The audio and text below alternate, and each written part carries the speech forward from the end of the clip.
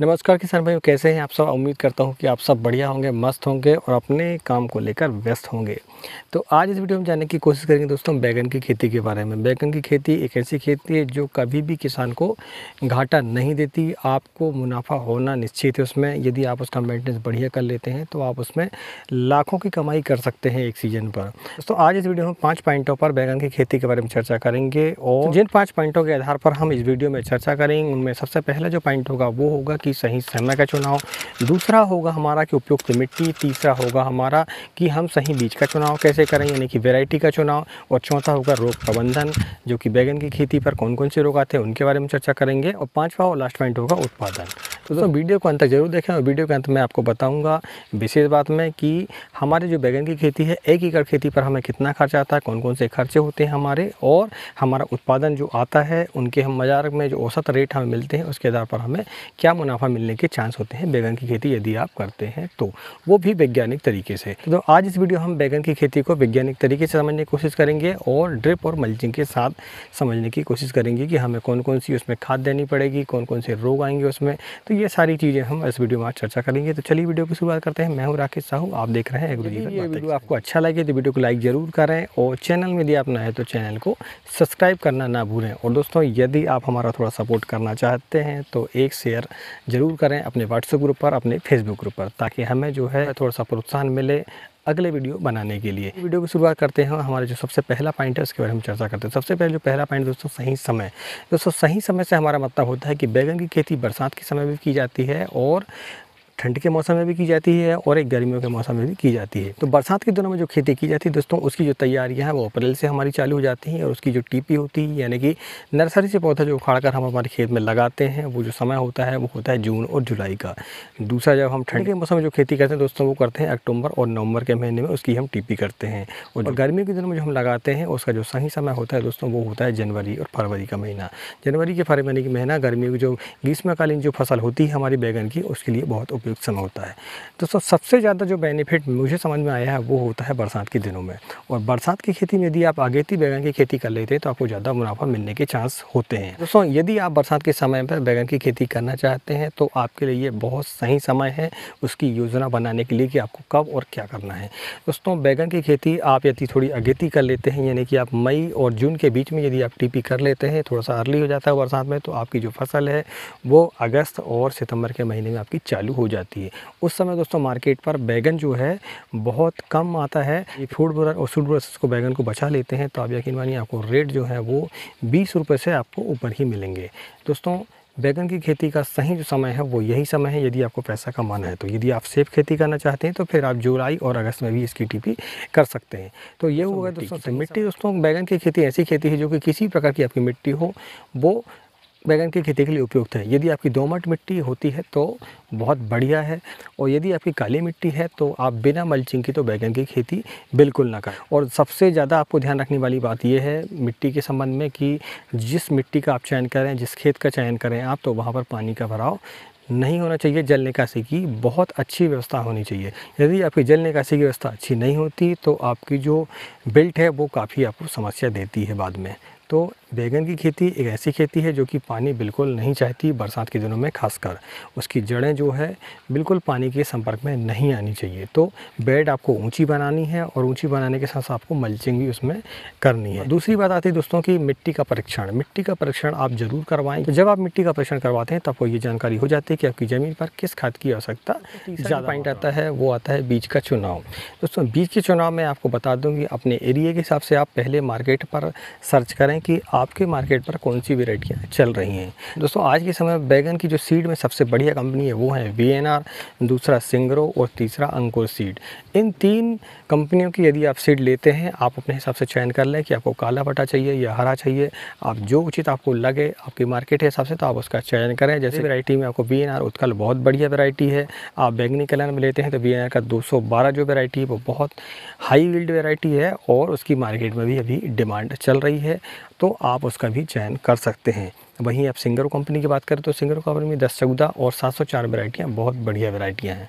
तो आप इनमें से आप बढ़िया सर्च करें पहले आप साइज़ के हिसाब से सर्च करें कलर के हिसाब से सर्च करें इसके बाद ही अपने खेत पर आप लगाएँ। नर्सरी का जो सही समय है वो लास्ट अप्रैल में आप नर्सरी को लगा सकते हैं और पूरी मई में आपकी नर्सरी तैयार हो जाएगी और आप फ़र्स्ट जून में यदि आप टीपी करते हैं अपने खेत पर तो आपको बढ़िया रेट मिलने के चांस है क्योंकि आपका जो बैगन है वो सही फ़सलों में जो बैगन अभी लगे हुए हैं वो सारे बैगन हमारे समाप्त हो जाएँगे आपके जून और जुलाई में। तो जब ये समाप्त हो जाएँगे, इसके बाद आपका जो बैगन है वो मार्केट पर जाएगा तो सीधी सी बात है, आपको रेट उसके बढ़िया मिलेंगे, क्योंकि उस पर मार्केट, क्योंकि उस समय पर मार्केट पर बैगन की शॉर्टेज होगी।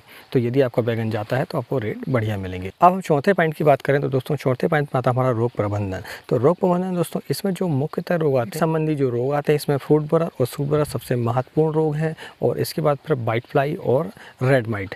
ये आपको बहुत ज़्यादा आते हैं बैगन पर और इसके बाद जो नंबर आता है वो आता है थ्रिप्स का। तो बाकी इसमें दूसरे इंसेक्ट कम हमला करते हैं और रही बात फंगस की तो फंगस भी बैगन पर बहुत कम लगते हैं। तो फंगस संबंधी आपको ज़्यादा सोचने की ज़रूरत नहीं, आप नॉर्मल यदि फंगीसाइड का इस्तेमाल करते हैं तो आपकी जो बैगन की फ़सल है वो बहुत बढ़िया होती है। इसमें कोई ज़्यादा दिक्कत की बात नहीं है। सबसे ज़्यादा जो महत्वपूर्ण है इसमें फ्रूट बोरर और सूट बोरर आपका यदि फ्रूट बोरर आ जाता है तो आपका जो बैगन है वो पूरा उसमें अंदर कीड़े पड़ जाते हैं तो बैगन आपका कोई काम का नहीं जाता आपको फेंकना पड़ेगा उसको। वहीं सूट बुरा यदि आ जाता है तो आपकी जो कॉम है, जो आपकी डाल है, उसकी बैगन की वो टूटने लगती हैं तो आपका जो पौधा है, वो वृद्धि नहीं ले पाता और आपको काफ़ी परेशानियों का सामना करना पड़ता है। इसलिए इसका जो नियंत्रण है, आपको करना पड़ेगा। दोस्तों, बैगन की खेती में रोग प्रबंधन के लिए फ़ूड पर और सूट के लिए हमने स्पेशल वीडियो अपने चैनल पर बना चुका है। आप चाहें तो आई बटन पर क्लिक करके उसको देख सकते हैं। तो नर्सरी आप कैसे बनाएँ बैगन की, उसके बारे में हमने नर्सरी की वीडियो दो तीन वीडियो हमारे चैनल पर है आप चाहें तो जाकर आई बटन पर जाकर क्लिक करके देख सकते हैं उसको। तो ये रही दोस्तों आपके रोग प्रबंधन के बारे में जानकारी। अब रही बात दोस्तों लास्ट जो हमारा पॉइंट मैंने जो अपने खेत पर वेराइटी लगाई थी वो थी बी उत्कल और जिसके हमें बहुत बढ़िया रेट मिले। हमें दस रुपये से कम रेट नहीं मिले। और जो अधिकतम रेट रहे हमारे वो पच्चीस से तीस रुपये तक भी हमें रेट मिला बरसात के मौसम पर नवंबर और दिसंबर पर। तो हमें रेट इसकी काफ़ी बढ़िया मिले लेकिन इसकी जो उत्पादन है वो बी एन से कम है। तो इसका जो एवरेज उत्पादन जो मिला हमें वी उत्कल का, वो मिला लगभग 300 से 320 क्विंटल पर एकड़ के हिसाब से।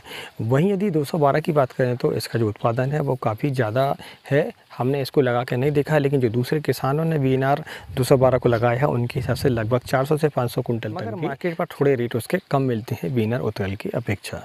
तो उत्पादन जो एवरेज है उसको देखें हम तो लगभग 300 कुंटल हम मान के चलें कि अगर आपका बढ़िया मेंटेनेंस आप ड्रिप और मल्चिंग पर खेती करते हैं तो आपका जो उत्पादन है वो लगभग तीन कुंटल हम उसको मान के चल सकते हैं। तो तो अब हम बात कर लेते हैं वीडियो की विशेष बातों विशेष बात में हम इसका जो आय और व्यय का लेखा जो का है, उसके बारे में हम आपसे चर्चा करने वाले हैं कि हमें जो क्या खर्च आए हैं और क्या खर्च आपको आ सकते हैं। इसमें जो ड्रिप की जो कॉस्ट है, वो हमने नहीं जोड़ी है और जो स्टेकिंग के बाँस वगैरह हैं, इसकी भी कॉस्ट हमने नहीं जोड़ी है। चलिए दोस्तों, हम बैगन की लागत खर्च और उसमें जो हमें लाभ होगा, उसके बारे में हम चर्चा कर लेते हैं। तो सबसे पहले हम खर्च के बारे में बताते हैं। तो सबसे पहले जो खर्च होता है दोस्तों, वो होता है हमारा ज़मीन के तैयार करने में। ज़मीन के तैयार करने में हमें लगभग पाँच हज़ार रुपये का खर्च आ जाता है, जो कि ट्रैक्टर का खर्च होता है हमारा, जिसमें कि जुताई और बेड बनाने का खर्च होता है। दूसरा जो खर्च होता है, वो होता है हमारा आधार कार्ड यानी कि बेसल डोज। बेसल डोज में आपको लगभग तीन हज़ार रुपये की खाद आपको डालनी होगी, जिसमें एक वो खर्च होता है हमारा, जिसमें कि जुताई और बेड बनाने का खर्च होता है। दूसरा जो खर्च होता है, वो होता है हमारा आधार कार्ड यानी कि बेसल डोज। बेसल डोज में आपको लगभग तीन हज़ार रुपये की खाद आपको डालनी होगी, जिसमें एक वो खर्च होता है हमारा, जिसमें कि जुताई और बेड बनाने का खर्च होता है। दूसरा जो खर्च होता है, वो होता है हमारा आधार कार्ड यानी कि बेसल डोज। बेसल डोज में आपको लगभग तीन हज़ार रुपये की खाद आपको डालनी होगी, जिसमें एक वो खर्च होता है हमारा, जिसमें कि जुताई और बेड बनाने का खर्च होता है। दूसरा जो खर्च होता है वो होता है हमारा आधार कार्ड यानी कि बेसल डोज। बेसल डोज में आपको लगभग तीन हज़ार रुपये की खाद आपको डालनी होगी जिसमें एक खर्च होता है हमारा जिसमें कि जुताई और बेड बनाने का खर्च होता है। दूसरा जो खर्च होता है वो होता है हमारा आधार कार्ड यानी कि बेसल डोज। बेसल डोज में आपको लगभग तीन हज़ार रुपये की खाद आपको डालनी होगी जिसमें एक खर्च होता है हमारा जिसमें कि जुताई और बेड बनाने का खर्च होता है। दूसरा जो खर्च होता है वो होता है हमारा आधार कार्ड यानी कि बेसल डोज। बेसल डोज में आपको लगभग तीन हज़ार रुपये की खाद आपको डालनी होगी जिसमें एक की पचास के जी डी और पच्चीस के जी पोटास और 25 के जी सुपर और 5 के जी सल्फ़र आपको डालना होगा। तीसरा जो खर्च होगा वो होगा दोस्तों बीज का, बीज और नर्सरी का। तो बीज में यदि आप खुद नर्सरी बनाते हैं तो आपको लगभग तीन हज़ार रुपये का खर्च आ जाएगा बीज और आपका जो दवाई खाद उसमें रहेगी उसके सहित। जो चौथा खर्चा होगा वो होगा दोस्तों आपका खाद और दवाई का, वो खर्चा रहेगा आपका लगभग तीस हज़ार रुपये जिसमें वाटर सेवल खाद और आपकी इंसेक्ट की संबंधी जो दवाइयाँ रहेंगी वो रहेंगी।